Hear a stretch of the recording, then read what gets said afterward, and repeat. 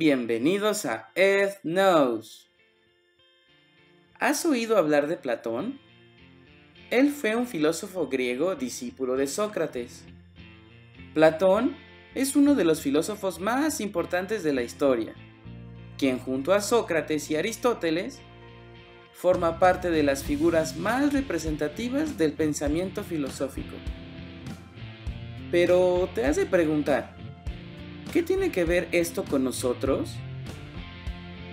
Nació en el año de 427 a.C. en Atenas.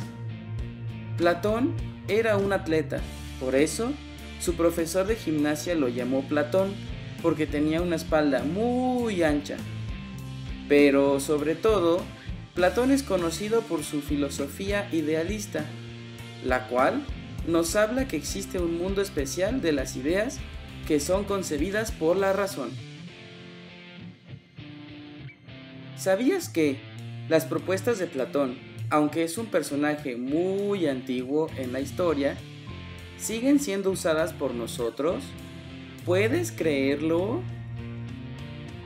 El idealismo de Platón, como así le llamaba, es de lo más elemental que ha explicado en la vida. Él decía que las ideas o lo que pensaba la gente era más importante que los objetos que existen. Platón estaba seguro que para que pueda existir un objeto, primero tenía que existir la idea de este objeto. Si alguien no piensa en un objeto, no se podría construir o crear. En pocas palabras, la gente primero piensa y después construye o crea algo. ¿Habías oído que Platón siempre se preocupó mucho por la educación de los niños? En el pasado, las niñas no tenían derecho a la educación que recibían los niños. Eso es algo muy injusto, pero ahí es donde entró Platón.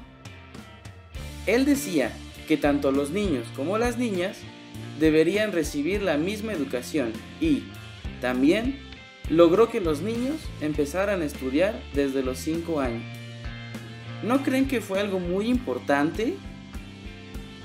Lo ven, lo que hizo y dijo Platón en la historia se sigue usando y viviendo.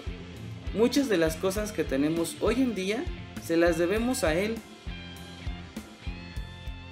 Ahora que sabes quién fue Platón, ¿estás de acuerdo con su filosofía? ¿Te gustó el video? Pon en los comentarios.